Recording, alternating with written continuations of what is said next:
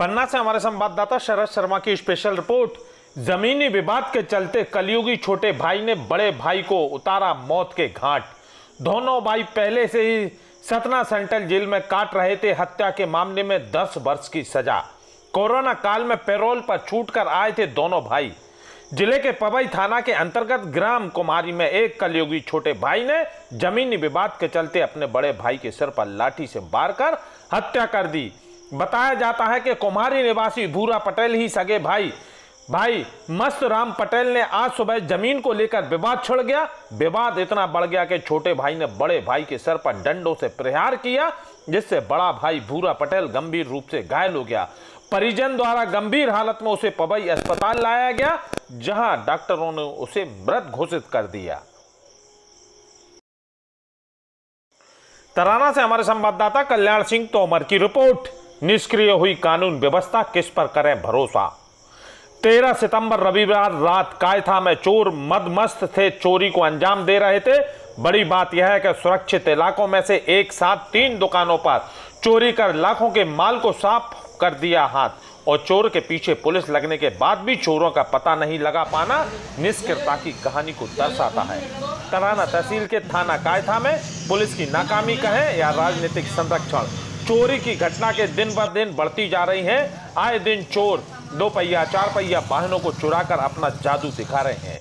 थाना कायथा में मुख्य मार्ग पर तीन दुकान पर सांची पॉइंट, पात्र भंडार, किराने की दुकान पर अपना हाथ साफ़ कर लाखों की चपत लगाई।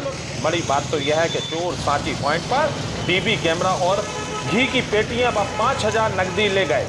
गश्ती कर रहे पुलिसकर्मी को देख चोरों ने दौड़ लगा दी। और उसके पीछे पुलिसकर्मी दौड़ रहे थे, जिसके बाद भी चोर भागने में सफल हो गए। बड़ी बात तो यह है कि चोर व पुलिस के भागने वाला वीडियो कई कैमरों में कैद हुआ। रायसेन बरेली से हमारे संवाददाता तारकेश्वर शर्मा की रिपोर्ट। अब मौत से जूझ रहा लाइनमैन। रायसेन के बरेली में मेंटेनेंस के दौरान लगा था करंट। अर्ध जली अवस्था में भोपाल के निजी अस्पताल में जारी है उपचार। भोपाल रायसेन में बरेली तहसील में एक लाइनमैन करंट लगने से बुरी तरह झुलस गया था। घटना सोमवार दोपहर उस वक्त की है जब लाइनमैन 132 के भी पावर हाउस के मेंटेनेंस कर रहा था। घटना के बाद विभागीय अमला लाइनमैन को बरेली पीएचई लेकर पहुँचा, जहाँ गंभीर रूप से अत्यधिक जली हालत को देखते उसे भोपाल रेफर कर दिया। जानकारी के अनुसार रायसेन की तहसील बरेली गाँव में कामनौत निवासी 36 वर्षीय घनश्याम पिता प्रेम सिंह धाकड़ विद्युत मंडल में लाइनमैन का काम करता था।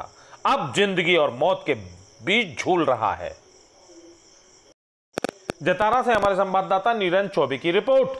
मध्य प्रदेश कांग्रेस कमेटी के प्रदेश अध्यक्ष माननीय श्री कमलनाथ जी के द्वारा डीएसपी रिटायर्ड आरएस बंसल को प्रदेश सचिव नियुक्त किए जाने पर प्रथम बार नगर आगमन पर जतारा विधानसभा आगमन पर कांग्रेस पदाधिकारी एवं कार्यकर्ताओं द्वारा आत्मीय स्वागत किया गया एवं बैठक का आयोजन किया गया।